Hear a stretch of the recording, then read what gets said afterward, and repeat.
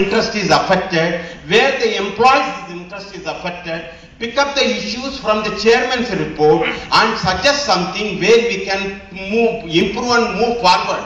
Let us not come here and condemn. They are the representatives of the government of India. They are not your employees and my employees. They are not your servants and my servants. We have no right, we have no right and no duty to condemn and criticize and abuse.